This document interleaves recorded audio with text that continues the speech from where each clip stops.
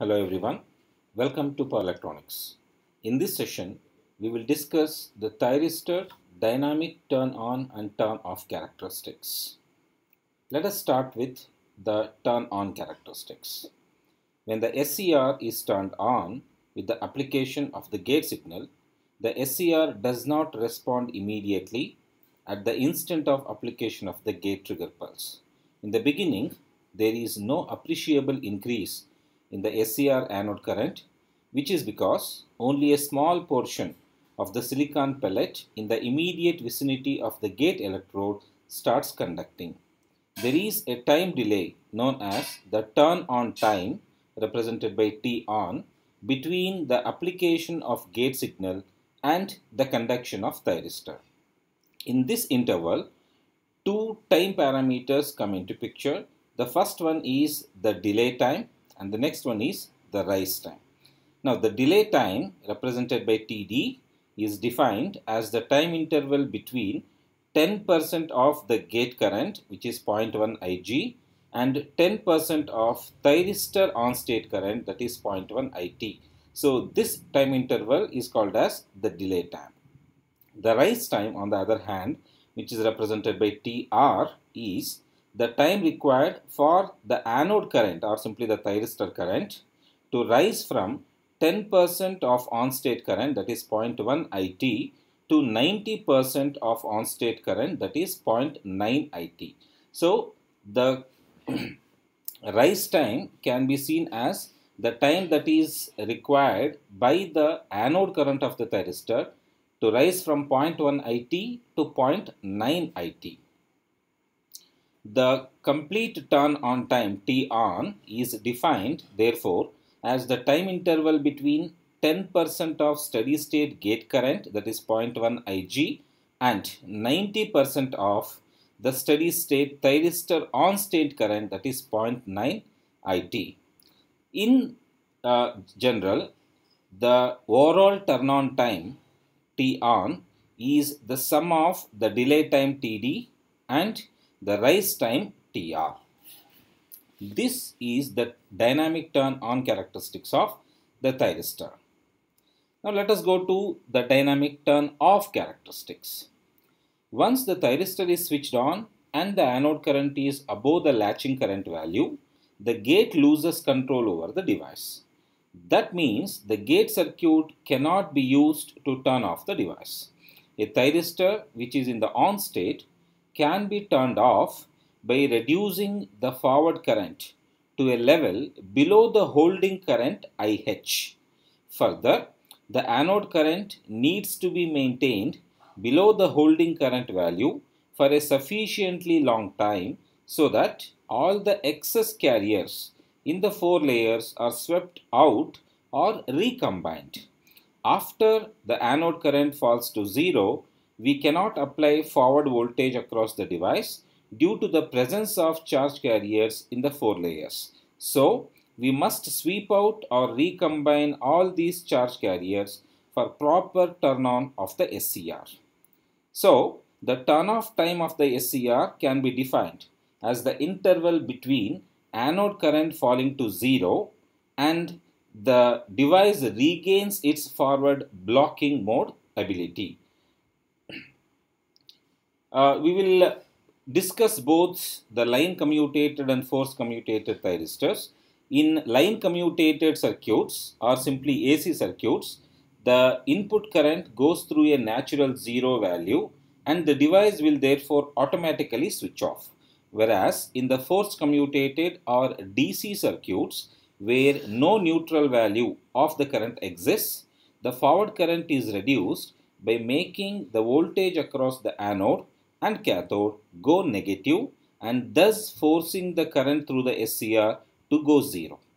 On the basis of removing the charge carriers from the four layers, the turn off time of the SCR can be divided into two time regions. The first one is the reverse recovery time. You can see this is TRR and then you have the gate recovery time represented by TGR. The gate recovery time is also called as the recombination time. Now let us discuss the reverse recovery time first and then we will continue to discuss the gate recovery or the recombination time. Now, it is the, the reverse recovery time is the interval in which charge carriers are removed from the junctions J1 and J3 of the thyristor.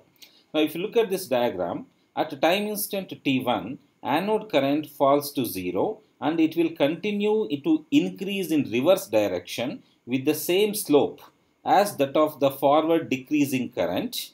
This is what is the forward decreasing current. So, the current continues to decrease between T1 and T2.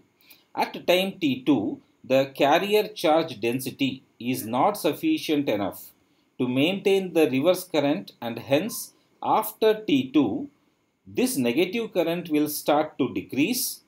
The value of the current at exact time instant T2 is thus called as the peak reverse recovery current. This negative current what we have applied between T1 and T2 will help to sweep out the carriers from junctions J1 and J3. Now, due to the rapid decreasing of the anode current, a reverse spike voltage may appear across the SCR. We have a diagram of this. Right. So, this is actually what happens at the end of the reverse recovery time. A negative spike will appear across the SCR. Now, let me come back to the characteristic diagram and continue. Now the time interval between the instants T3 and T1 is called as the reverse recovery time. After that, the device will start to follow the applied reverse voltage and it gains its ability to block the applied forward voltage. So this is about the reverse recovery time. Now coming to the gate recovery or the reverse recombination time, even after sweeping out the charge carriers from junction J1 and J3 during the reverse recovery time, there still remains trapped charge carriers in junction J2 which prevent the SCR from blocking the forward voltage. Now this you might understand is because the thyristor requires two voltages to turn on the first one is between the anode to cathode. The second one is across the gate to cathode. Now, since you have used some gate voltage, you also need to use or you also need to remove these charge carriers and the time taken for removing these gate introduced charge carriers is what actually is called as the gate recombination time. Now, this trapped charge can be removed by recombination only and the interval in which this recombination takes place is called as the reverse recombination or the gate recombination time. A negative reverse voltage would greatly reduce this recombination time and the gate recombination time is dependent on the magnitude of the reverse voltage applied. So this is about the reverse recombination time. So in general, the device turn off time which is represented by TQ is the sum of reverse recovery time and reverse recombination time or gate recombination time. So I can write TQ equals TRR plus TGR. At the end of turn off that is at the end of TQ a depletion layer develops across the junction J2 and the thyristor recovers its ability to withstand the forward voltage. That is, the thyristor will once again re-enter the forward blocking mode. To ensure that the SCR has successfully turned off, it is required that the circuit turn off time, which is represented by TC, be greater than the device or SCR turn off time represented by TQ. Now, this introduces the new time interval which is TC. So, why should I always make sure the negative voltage applied be greater than TC and not just TQ is because most of the times, particularly in forced commutation circuitry, you take extra elements, particularly extra passive elements to aid the commutation of the working SCR. For example, in this circuit, which is a forced commutated circuit, you can see a capacitor and an inductor are used to commutate the working thyristor T1. So, if you simply aim at the value of negative voltage being equal to that of the time taken for turning on turning off only the thyristor T1, then if there are any charge carriers either in capacitor or if there is any inductor current, this current may once again drive the transistor into forward conduction state.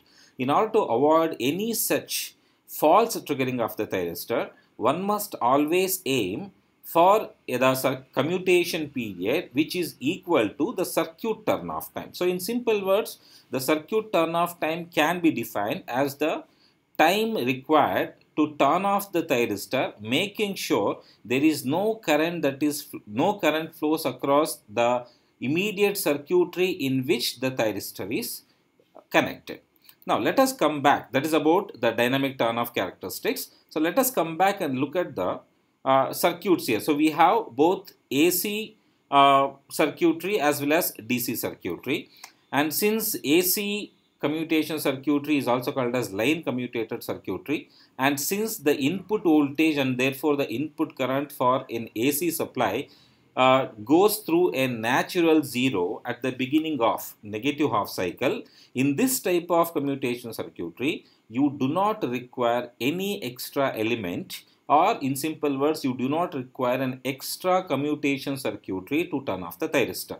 The same process what we just discussed during dynamic turn off will be applicable for line commutated thyristors also except that no extra elements are used. On the other hand, for force commutated thyristor circuitry, since you are using extra elements to turn off the working thyristor, you must make sure the overall applied time for commutating the thyristor be greater than the circuit turn off time in which the thyristor is connected. Right, so this is about the dynamic turn on and turn off characteristics of a thyristor. Thank you.